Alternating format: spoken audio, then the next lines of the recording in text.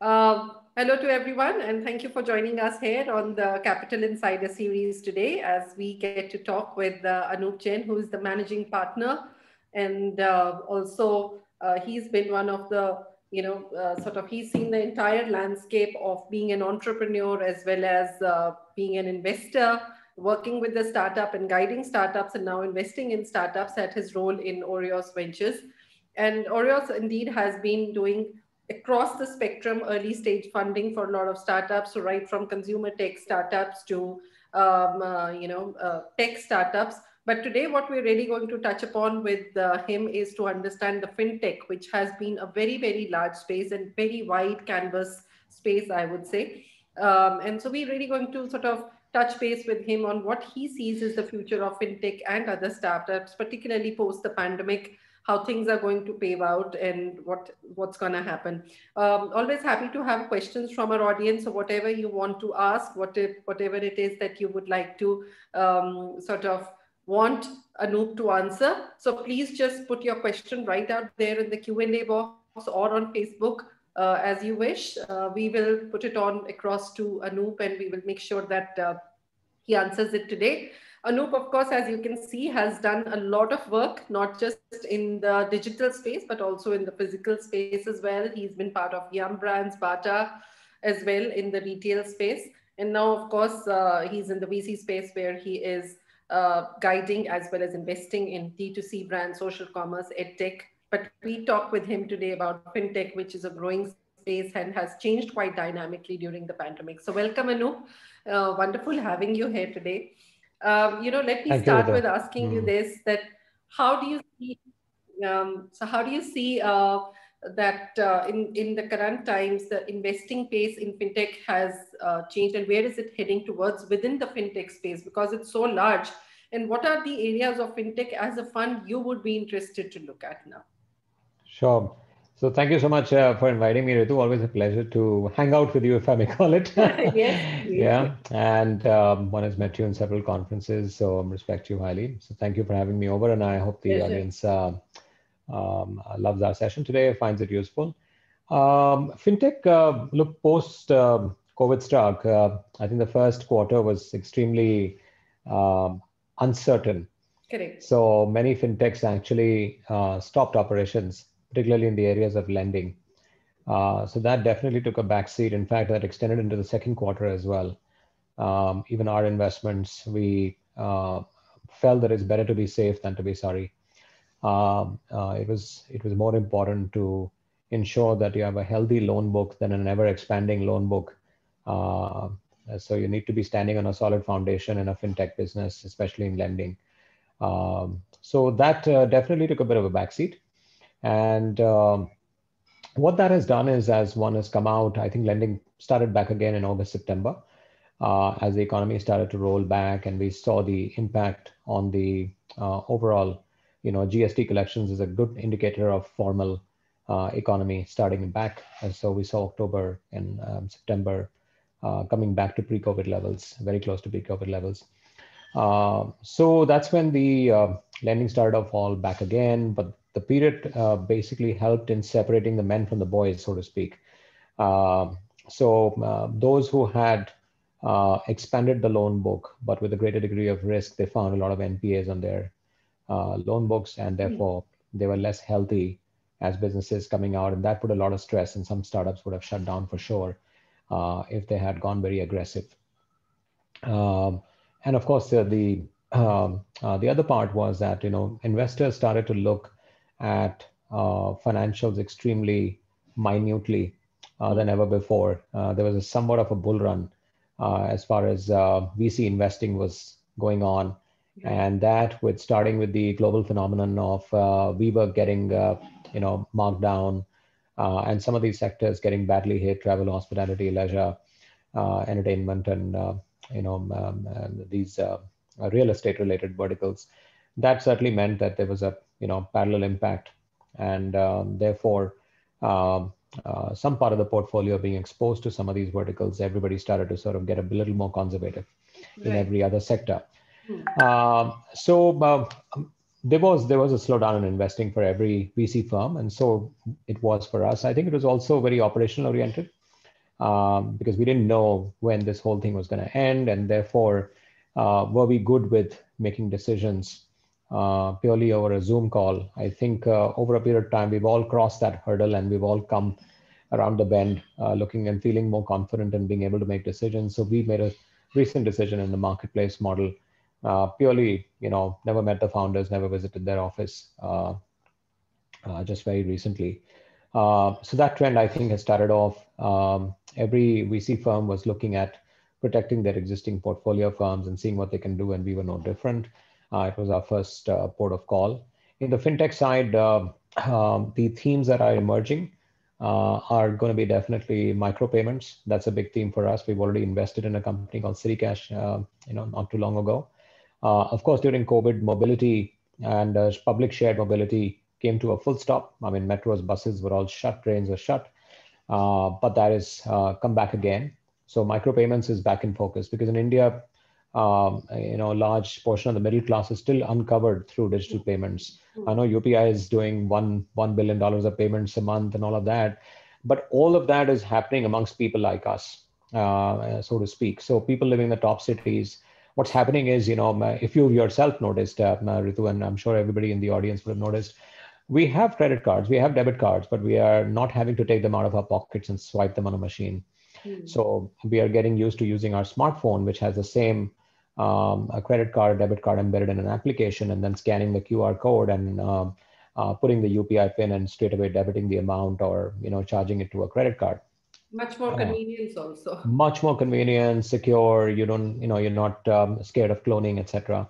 So I think there what's happening is that there is a churn which is happening within the existing players, right? Everybody's eating into everybody's share, and then that WhatsApp has got its approvals coming in through the Jio WhatsApp combination. So that's a new um, player in the ring. But micropayments has not been touched. Micropayments are defined by BCG as less than 150 rupees, and that's what India lives on. For 400 million people, uh, you know, they they take shared public transport rides, paratransit rides of autos, it's electric rickshaws, etc all within 10 20 rupees 30 rupees 40 rupees etc they eat um, at stalls hawkers etc the denominations are the same.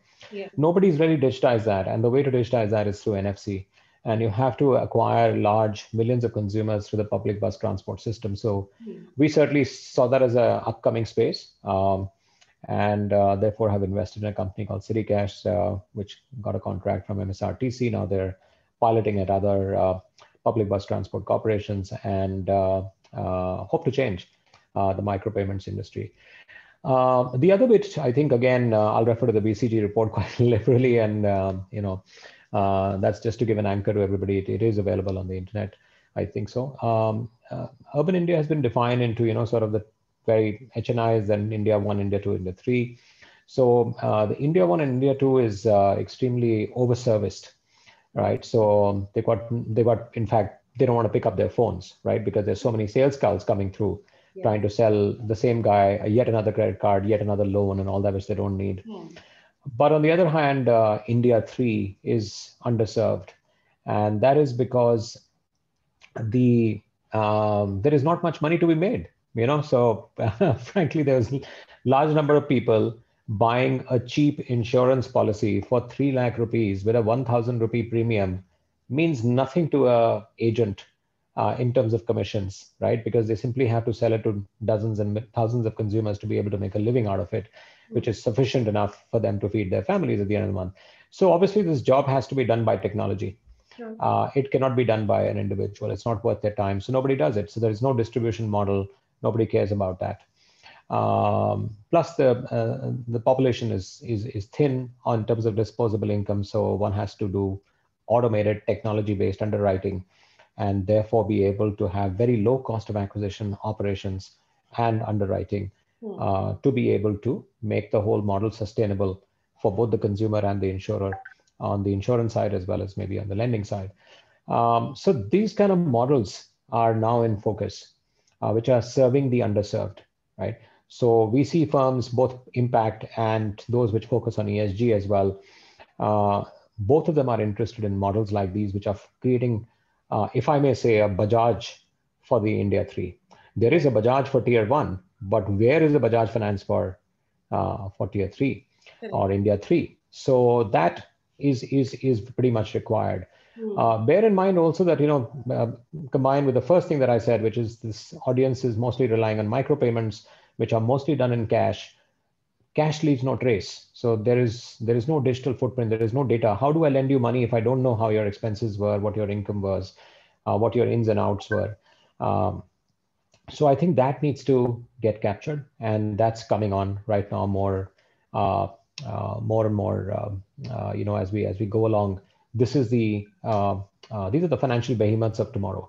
So the Bajaj Finance for India three is yet to be created. The Visa and Mastercard for India three is yet to be created.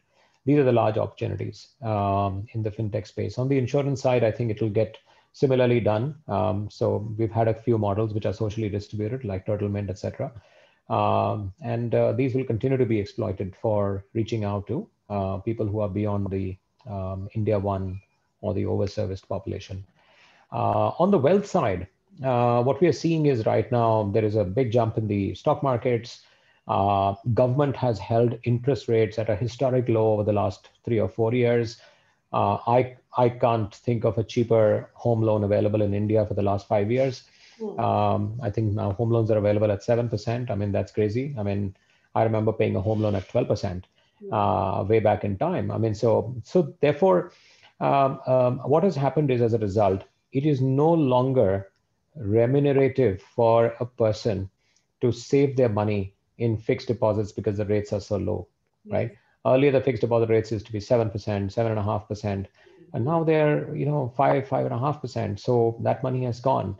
Um, so you have to take a risk in order to make money, right? So therefore, that means that wealth management, both at scale and without scale, which means for a limited number of individuals, you definitely had some degree of, you know, wealth managers, etc. But that's 100 crores plus.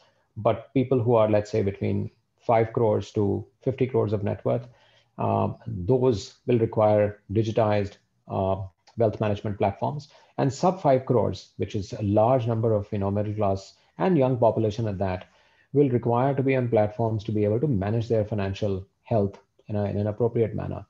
Now that again cannot be done by you know um, uh, human beings or person knocking on your door or you going somewhere and sitting in front of a banker and having a detailed conversation. A bank branch is not a place to make a financial decision.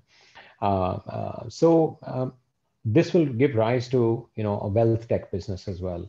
I feel so. Sub five crores may be socially distributed, a platform which is tech enabled, but independent financial advisors working on it. Five to ten crores may be a combination of low touch as well as you know tech where the clients can do certain things themselves where they don't want to spend time talking to somebody right uh, and they can just easily read reports or make decisions based on something which is sent to them on a dashboard. So what you'll need is analytics.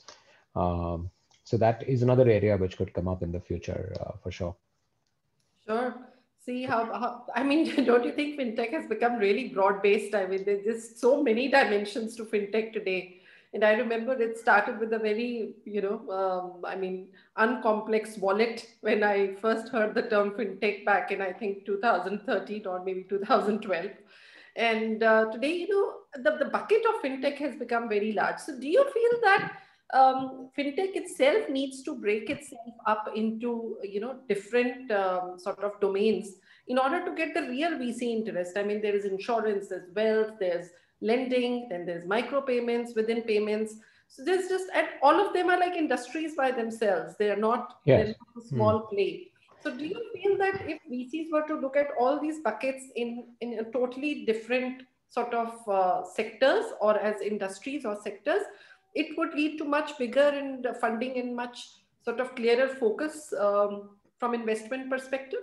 Yes, so I totally agree with you. Look, fintech is um, is a very broad brush, and uh, every VC firm has got its own priorities. Hmm. Uh, so you know, if you organize a fintech forum, certainly you see the split into the various segments, and they have different panels for different uh, subtopics and subsegments.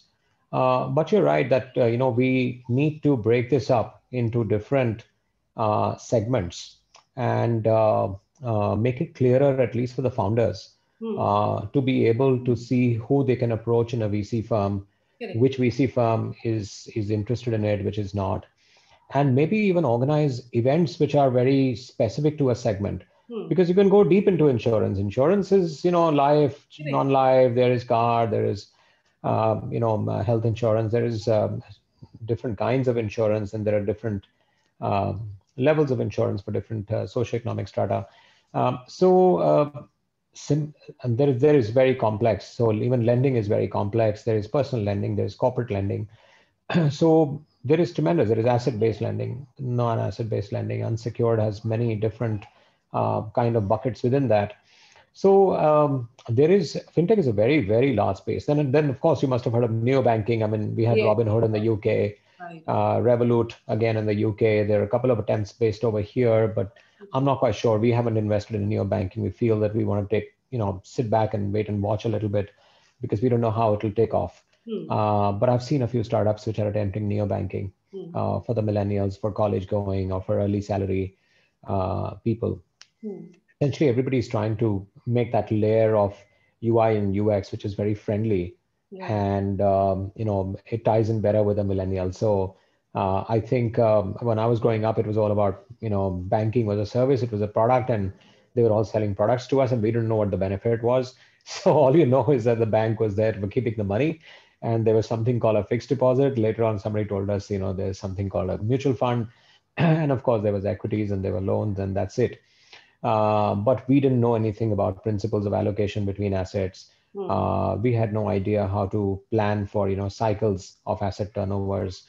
Um, you know when when is the correct time to move out? When is the correct time to move in? So you'd be like feeling very good one day, and then six months later, because you didn't sell, um, you know there was a reaction in the market, and you feel that your you know net worth has gone down by 10 15 percent and you didn't do anything on it so um, um, uh, there is there is the advisory part the advisory requires data to be housed in a central place which Hmm. needs to be linked to market driven you know uh, metrics.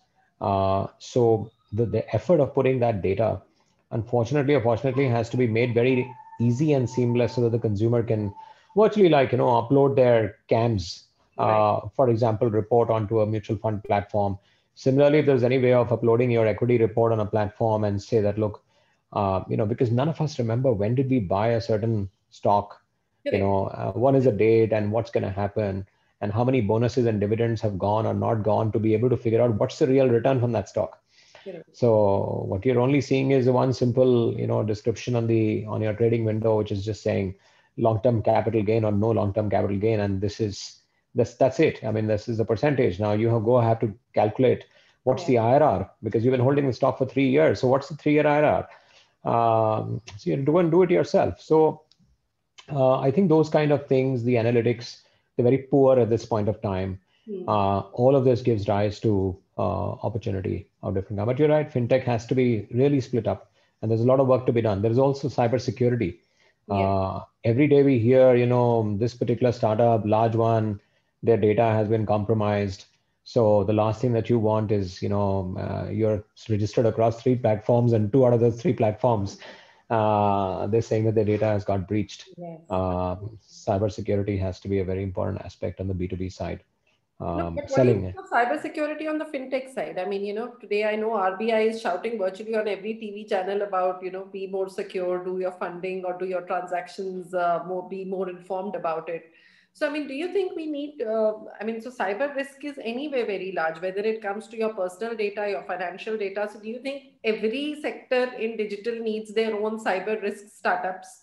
to be able to manage the i mean security side of things and particularly in the fintech space Yeah, so um, this is the biggest fear that um, consumers have while registering on a on an unknown small, you know, fintech brand and giving all their data on a Right. platform. Yes Uh, I don't know how consumers do it. I definitely find myself a little, you know, I, I wait for a reference to happen, and there has to be some safeguards over here. So um, cybersecurity has become extremely important. Whenever transactions are happening, uh, whether it's an e-commerce platform or it's a fintech, which is taking in your data to give you a loan or a credit card or whatever it might be, um, this is becoming a, a big business.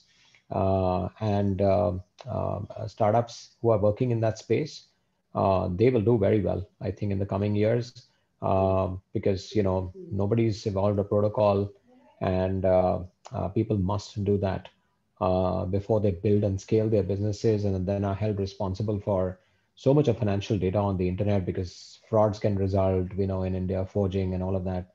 Uh, various things can happen. People have you know mm. by mistake um, sort of given out otps and found that their accounts were flushed their wallets were now linked to upi so that introduces a risk as well so sundry phone calls all those things you know so um, one has to be really wary uh, and evolve the structure uh, of how you're interacting with consumers and how you are uh, taking in their documents and uh, what kind of assurance are you giving them about storing of their documents. And each time you access a document, perhaps you should have a security feature where you take permission from the consumer, whether it's from an OTP or otherwise. But before I can share it, I mean, I should be taking a permission, your actual formal permission, whether you click on a button or you submit something, right? So I think those things are there. Um, they need to they need to come in, starting with the very simple stuff and then going on. Idea is to have deterrents over there in place and things which are very tech oriented. So there's no mutual, um, uh, there's no manual intervention, and uh, there is a there is a permission, and therefore there is a you know a building of mutual trust with the platform. Because with the bank, it was very easy because these were brands and they had branches, they had people, but um, relationship managers guiding. Yeah, relationship managers. At least you know you can go there and you know maybe you know uh, express your uh, uh, anger, upsetness, whatever, get a redressal over there but what do you do over here? I mean, you're going to write an email, but if your data has been compromised and you've got some money missing in your account or something, that's a big risk. I mean, the whole Karvy issue that happened um, uh, told us that. You know, I was at the receiving end of it. In fact, uh, thank God it was very, you know, it was not that large, but in my end, but you know, many uh, people just, uh, you know, that whole thing led to a new wave of regulations on the SEBI side uh, on how transactions are being done over telephone or how they how much they're allowed to hold your scripts in their in their what they call as a transfer account or whatever is the um, escrow account, uh, the pool account. Sorry. Right. So um, um, I think that these are all um, these all have happened during this time, hmm. and uh, these are all warning signs that uh, anything which is manual, anything which is um, uh, going without your permission, uh, that is, is, is something to be wary of. So um, uh, that kind of level of savviness is, is definitely coming in. So do you um, feel more regulations are coming along the way for fintech industry? Look, um, we are an over-regulated place, so I don't want more regulations to come in. Uh, there are no, there are, um, in fact, RBI is releasing sandboxes for experiments, which is very encouraging, uh, both on the insurance side as well as on the payment side. Uh, but I think um, um, what is what is what is more necessary here is the uh, plugging of loopholes in technology, hmm. which allow these breaches to happen. Right. Um, and uh, certainly on the regulatory side, look, uh, it's a it's a, it's a bit knee jerk. So hmm. when the Karvy issue happened, then they introduced these regulations, and that became those regulations. Um, the SEC in the US, for example, has very advanced regulations for insider trading. There are lots of uh, you know hoops to cross uh, everybody is very well aware. So you know every conversation, everything, um, all of that is is is is subject to that. Uh, you know, uh, risk of litigation, all of that, uh, and litigation is costly, so that keeps everybody honest as well. So the stakes have to be high enough. Uh, but here, the the the the, the entire fraud uh, and, and scope of fraud can be sometimes very small in nature and therefore it goes undetected and unchallenged hmm. uh, because you know yeah i mean if some somebody loses 25,000 rupees, if you know even 20,000 people lose, I mean, how much of a you know uh, hue and cry will they create, how will they organize themselves to address it? So it's the that's what it that's what it because in India the numbers are much higher uh, in terms of number of people. Uh, yeah. yeah, yeah. I think uh, new new new ways of working and therefore new changes that we'll continue to see. I mean social media has become so regulated uh, and still more to come. So I think virtually every sector out there is going to see some regulations coming along their way.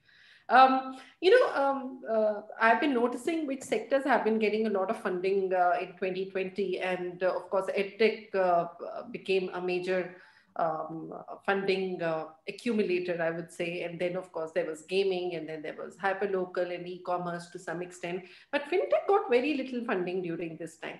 So do you feel that particularly because uh, the, the focus of investors has been less on fintech during uh, the pandemic times, one, it is going to see any rise? Are we going to see at least some return back to normalcy on maybe 2019 last quarter or 2020 early first quarter levels um, as we enter into 2021?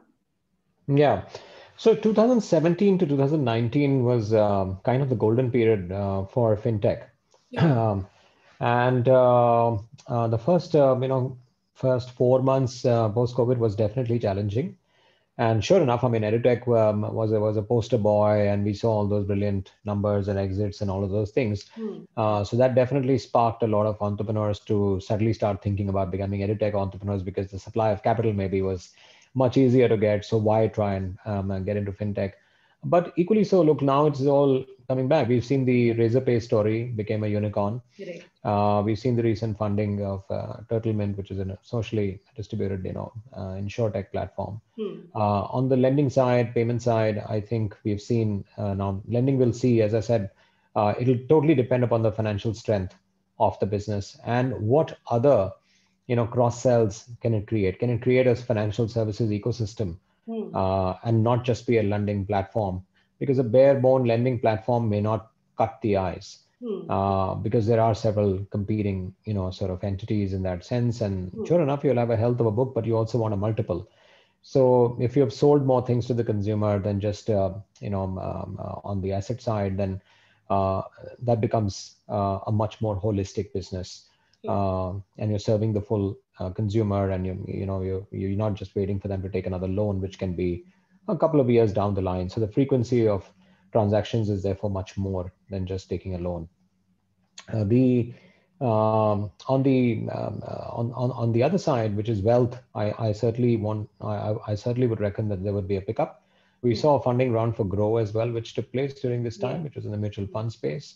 So i think some of the bigger ones have got identified and they've got invested in, and they have therefore come into a dominant position.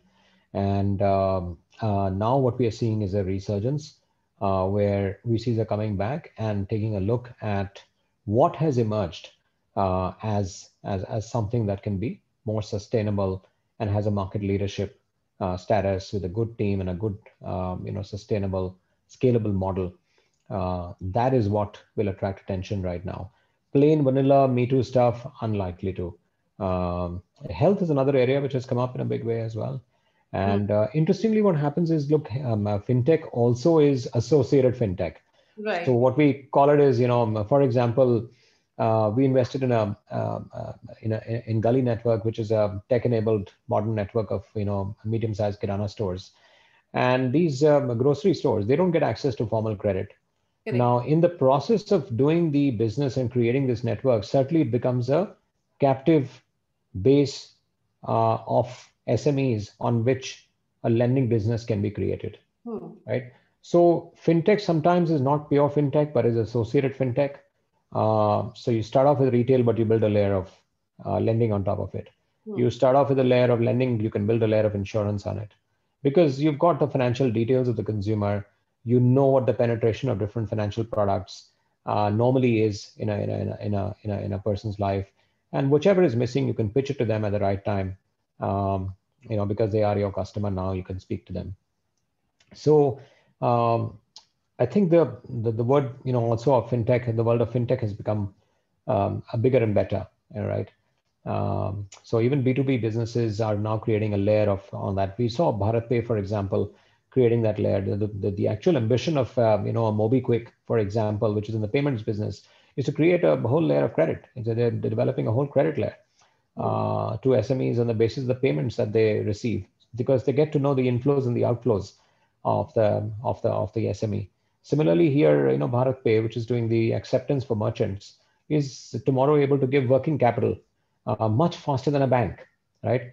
Because you know the guy is busy as at his shop uh, by the time he calls, you know, or he goes to a bank and says, I want a loan of this and puts an application and here's and submits documents, it's going to be like, you know, 15, 20 days.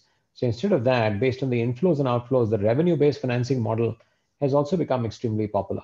So all of this requires data. So, but the data, I mean, it starts from payments, but then it can develop into lending. It can start from insurance or lending. It can get into insurance. So cross pollination is uh, is very much there. Uh, uh, so fintech can sometimes originate from mainline businesses. Hmm. Uh, Amazon, for example, I would say it's a it's a grand fintech company in India. Yes. You know, it, it it is now helping you pay your bills everywhere. They know your entire profile, Correct. right? They by giving you a small cashback, what they've managed to do is make you pay your telephone bill, your insurance bill, your broadband bill, you know, and you know three other four other bills, you know, that you were paying in any case. Uh, now they've got access to your entire profile. So they will be able to market several products, bring in assortments of services onto you.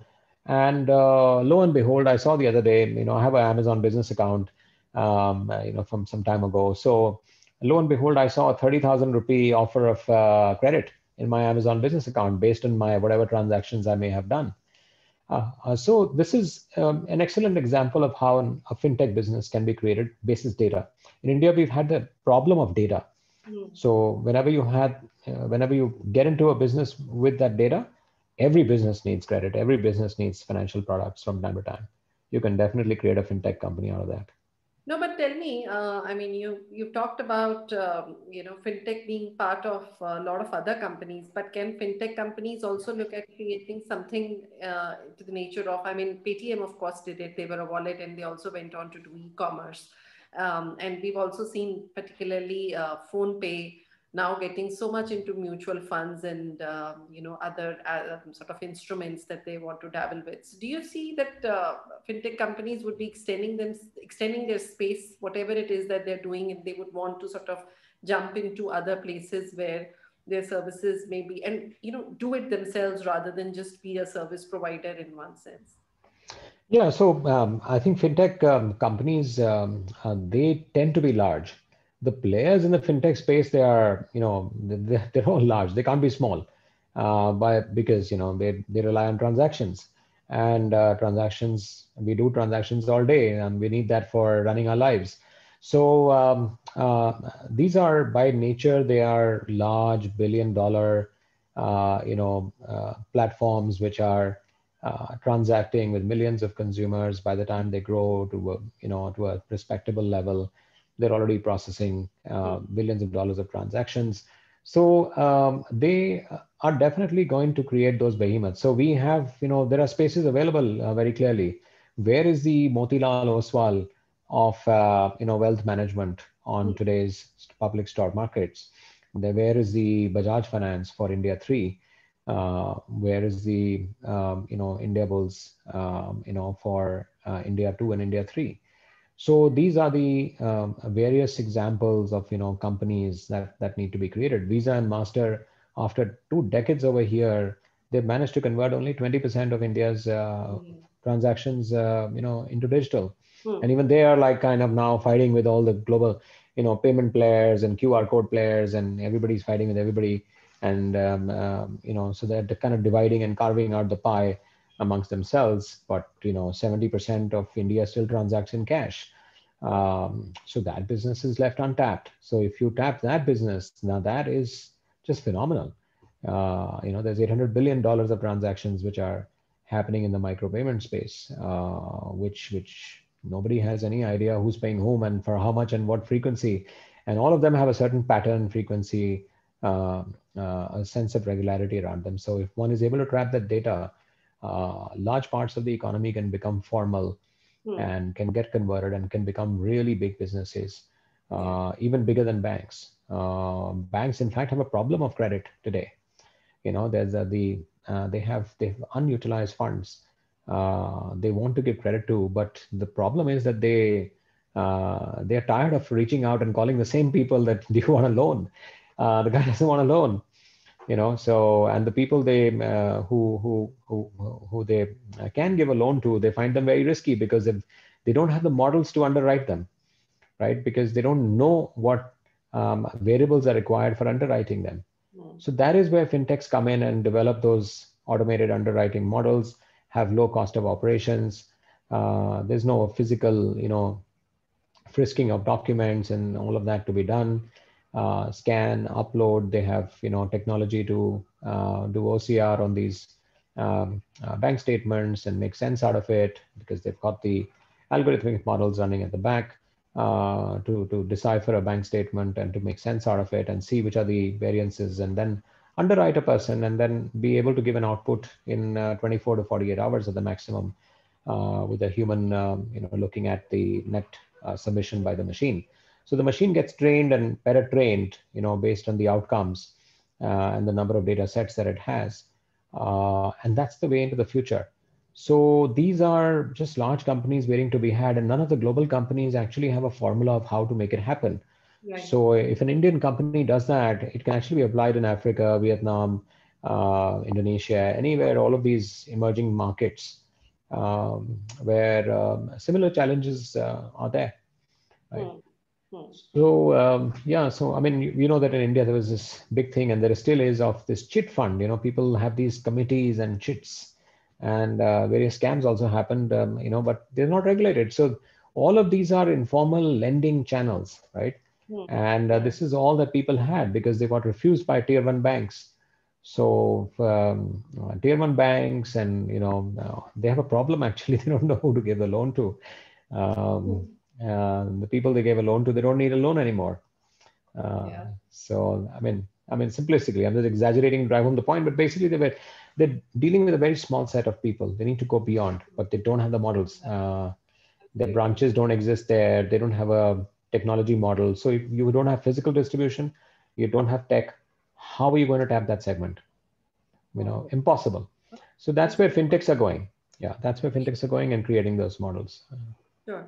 We'll take some questions also which have come in. Um, so there is uh, Shreya who's asking that do you think the lockdown has accelerated digital cashless payments in non-metro cities? Do you think there's still a gap in terms of people trusting credit cards or are they already riding the digital wave? So um, uh, I think the there has been a combination of a uh, few things. Uh, one is e-commerce has penetrated much higher during the lockdown period. We all are aware of that. So uh, the large e-commerce portals, uh, they have experienced greater number of transactions hmm. Uh, from the tier two cities. And they have been obviously providing incentives for um, upfront payments rather than cash on delivery.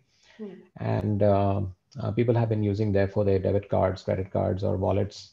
And uh, the easiest method now today that all of India knows, I can say with a great degree of confidence, is UPI. So everyone's uh, today using UPI. And hmm. UPI has been translated into a QR code thanks to fintechs like BharatPe, etc., or even Paytm.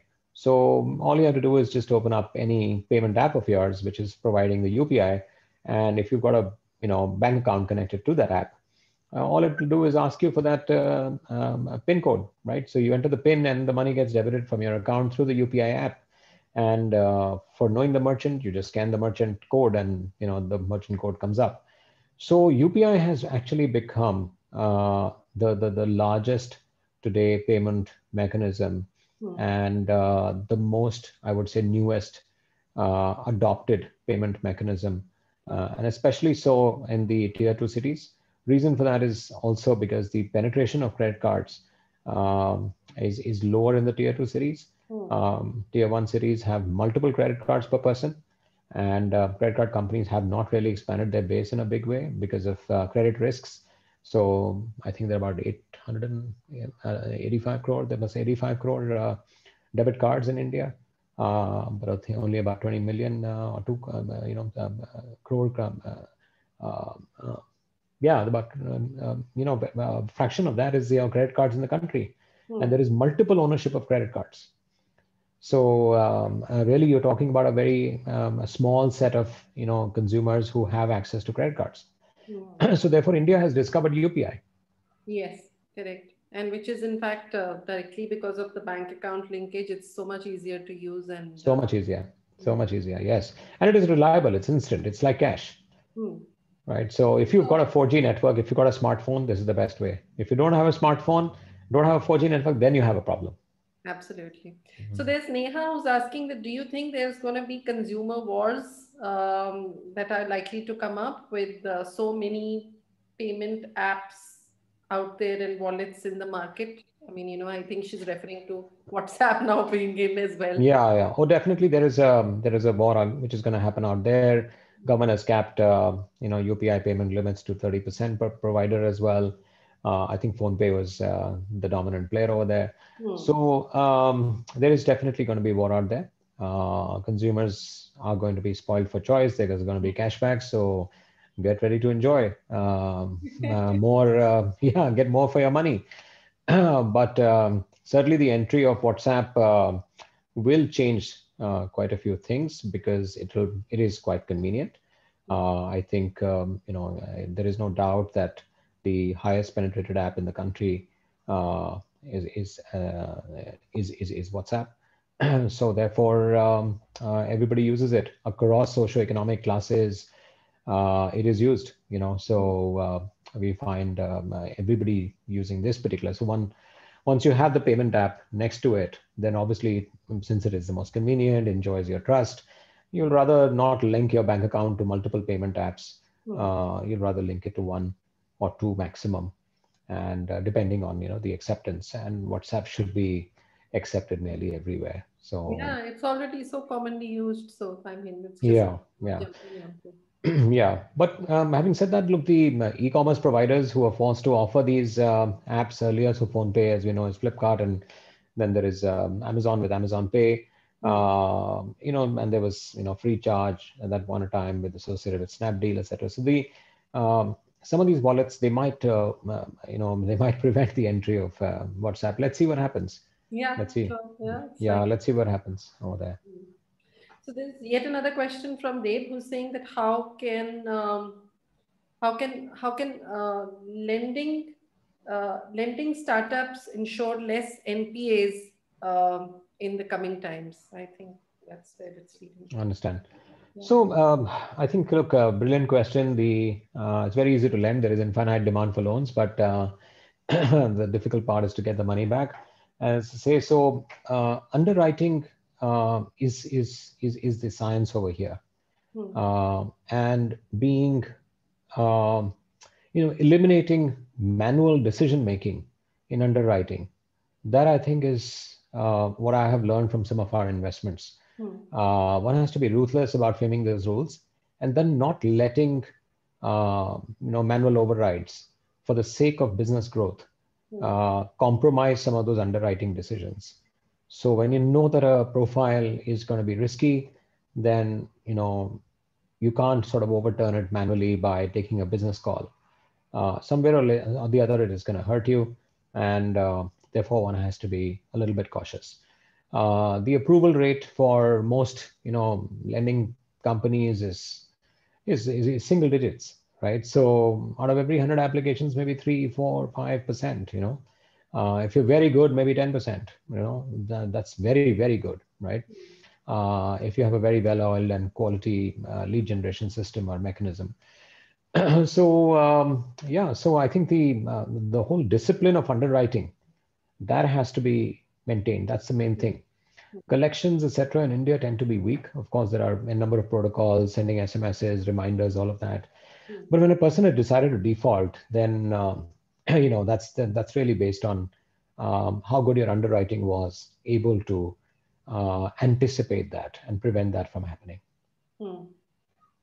Sure. And finally, you know, I would love to know. Um, I mean, if if not fintech as an area of investment at Orios, what else? What other sectors would you be interested in as a fund to invest?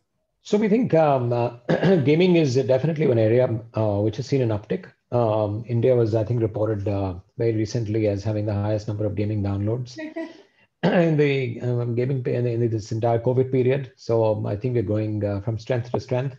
Uh, since we are not going to be very happy to hear that. uh, well, since we can't go to multiplexes and you know school is only half day, what do you do? And um, so I think everybody is enjoying that. Um, second bit is uh, uh, agri. So agri is a very big area. It's a untapped area. The recent farm bills by the government are a progressive move. I certainly feel that way. Of course, there's a lot of political heat around it. Yeah. But uh, you know, farmers have never been getting their dues uh, in our country. There has been lack of investment in cold storage and, and, and the entire supply chain. And the reason for that has been that the markets have been uh, constrained to be operating uh, not at the farm level, but at the mandi level. So farmers are supposed to bring their produce at the mandi level at the APMCs, and that's where they're supposed to sell it from. There is a concerted group of middlemen uh, who, of course, facilitate the transactions but operate by their very informal rules, and they are all, you know, sort of the middlemen who supposedly add value, but I don't think they add uh, any value other than facilitating a transaction uh, which suffers from an asymmetry of uh, information on supply and pricing and demand, right? The moment you solve for that asymmetry, which you can do with technology, uh, consumers can place their orders, corporates can place their orders uh, for the next season. A farmer knows what to what to plant, how much business can they do. There is a contract over there, no different from any other contract that you would sign electronically today. You know, including the ones that you sign when you download an app from the Play Store. Uh, so um, all of this can be made very seamless, right? Mm uh, and escrow accounts can be created. You know, corporates would be very happy to uh, take long-term positions, long-term contracts, put quality um, uh, controls, and uh, make the requisite amounts of you know um, um investments in the infrastructure mm. when they know that a certain amount of supply is captive and is coming in, and they've got to store it, and then they can make money on it by releasing it into the market uh, based on the demand. Uh, so um, there is there is there is the agri sector which which has to be get completely reformed. Uh, you know, otherwise uh, it'll just stay very much behind, and the agri distress uh, will continue. Um, you know, and we'll keep uh, paying taxes on one side, and we'll keep seeing those taxes being used as loan waivers on the other side. we have to make a sustainable financial agricultural model. Today, the only sustainable financial model in agriculture is uh, that of the middleman. It's right. not of the farmer. Yeah. But do you think it's going to drag agriculture down before it sort of puts it up? Because there is always very grassroots guy at the end of the day. And look, there is always um, um, there is always a pause uh, before you shift gears, right? Whether you're driving a car or whatever. So um, that is bound to happen. That is bound to happen but we know that what we've done over the last 50, 60 years hasn't really worked. Yes. Where are we today? We, we aren't getting the freshest of vegetables. Farmers are in distress. There are suicides, all of that. So, uh, you know, loan waivers are going out um, hand over fist, and that's all public tax money, which could have been utilized to improve the very lot of those farmers. But instead of writing off loans, we should be creating uh, systems by which they can access the best prices, the best agricultural inputs, make them more successful, and for us as consumers to you know experience better prices because I don't know whether we all know, but 30% of uh, food is wasted along the chain because yeah. uh, of uh, poor logistics and uh, poor infrastructure in the country. Mm. so all of this can be improved, uh, right? And the, it's it's you know it's the middleman who's making the money. So um, non-value adding, you know, intermediaries um, have to be removed if a sector has to be transformed from unorganized to organized. It has we have seen that happening in so many different areas uh, through startups. You know, various uh, startups have come in on and have, have uh, done that very successfully. E-commerce is a is a, is a perfect example. Yeah. Um, and given opportunities. I mean, today so many sellers who are operating on e-commerce websites, they're good businesses. Earlier, they had a very few small client base. Today, they are present on Amazon or a Flipkart. They're able to sell to the whole country. They're even able to sell to uh, overseas and they don't have to set up warehouses and logistics and you know do all of that marketing etc they get to be placed on a on a search based uh, mall right? So uh, and that is what consumers are excited by because you know that's what they come over there every day. They find so many useful things just by using search keywords based on what they wish to buy right? So they don't need to spend time uh, traveling through a mall to find what they need to buy. Yeah. Uh, they can find it within a and that's why it's taken off. So it's the same thing, um, uh, which can happen in the agri industry. We know that the inputs are counterfeited. We know that farmers don't have the access to the best farm equipment. Uh, productivity can be increased. Uh, advisories um, can be given out to them, tips on how to get the best output, what to plant. In fact, we invested in a, um, a, a farmers, a LinkedIn for farmers called Krishify.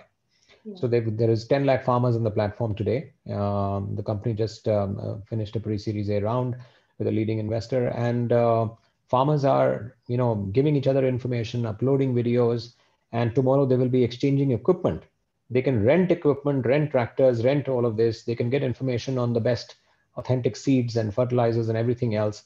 Um, and they don't have to go to the one single retail shop outside their gaon, which is a very, which is a very restricted way of functioning. So all of these were, you know, artificial constraints which were put on the farming economy, and uh, they have to be released. The investments have to come in, uh, but large companies will not invest. Uh, you know, if you're throttling all uh, free market forces. Um, so I think some of this um, we will see. So we are certainly, you know, want to jump into that um, and, and take a bit of bet on that. Education still remains on our radar. Education is a big area. Health is a big area. Mm-hmm. Um, so uh, we made some investments in the health space. PharmEasy, which is recently, you know, um, um, wrapped some good rounds, going to be a unicorn. Uh, just went into a merger with MedLife. Um, consolidation has taken place now. There's 70% of the pharmacy club. Similarly, Beato, which is um, into the uh, diabetic, um, you know, uh, digital health space. Um, we're looking at women's health. We're looking at um, children's health.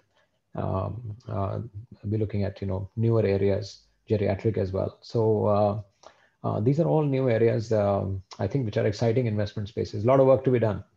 Absolutely. And we're looking forward to it uh, totally, which are the new unicorns that are going to emerge from your kitty. Uh, it's always so good and heartening to see how these startups and the young businesses, they grow and become so large so fast. And, you know, while we keep calling them startups, but by no means are they startups. They're, they're really large businesses. So thank you so much, Anup, for joining us today and talking to us. And, uh, you know, there, I mean, pandemic or no pandemic, we uh, business is on, you know, we're not, lives are not stopping and we're doing new things. Um, I would request all our audience to continue asking more questions. Please join our pages. Our links are right here uh, on the screen. And you know, any questions that you have from the investor community or you have some questions around startups, we're always happy to answer them from you. In fact, you know, we'll try to push the investors to answer them for you and uh, help you in any way we can. Thank you once again, Anup. It's always wonderful to talk to you. And next time, hopefully off the screen and in person as we yes. meet. thank you, Ritu. Pleasure always uh, to connect with you. And thank you for inviting me over. And I hope this was useful for your audience. Uh, Absolutely. I appreciate oh, no, I think there's some great ideas you brought forward. And uh, I'm sure we'll see only the results of it in 2021 going ahead. Thank you. Thank you very much.